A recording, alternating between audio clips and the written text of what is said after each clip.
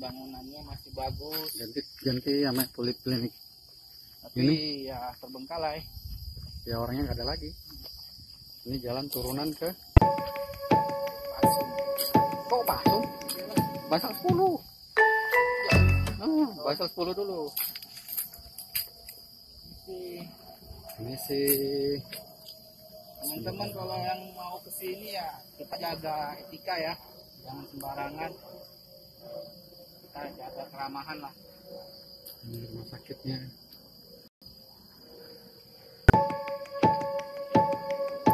Oke om. Ya cukup sampai sini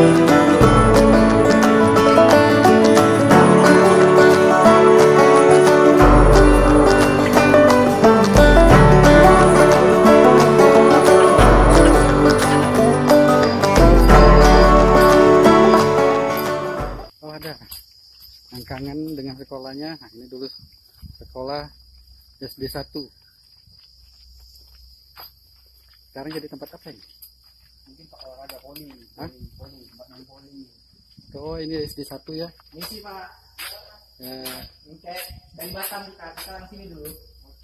Mau lihat kondisi. Dulu. Dulu kita Pitambur. Gimana? Tinggal Pitambur. Iya, di Gancong situ. nama kali berarti ya bang Iya.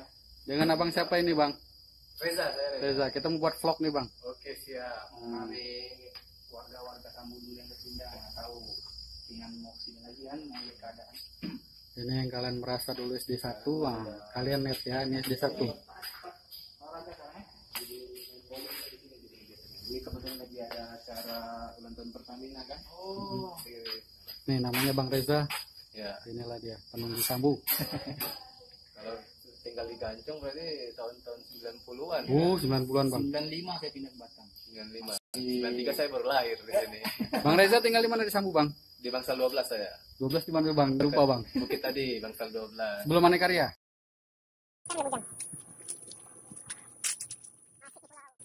Ini kalau anak-anak sambut tahu segala bisa sambut Kedung ini murah dulu. Murah dulu. Sedikit ke belakang, nanti kita ambil ke belakang. Yang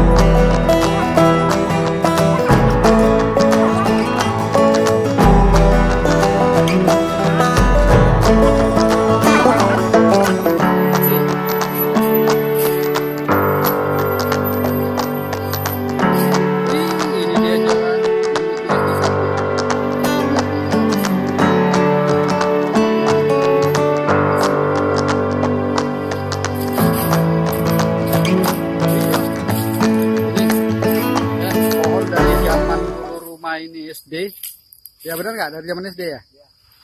Sampai sekarang masih berdiri kokoh nih pohon ini. Pohon apa namanya? Ketapang.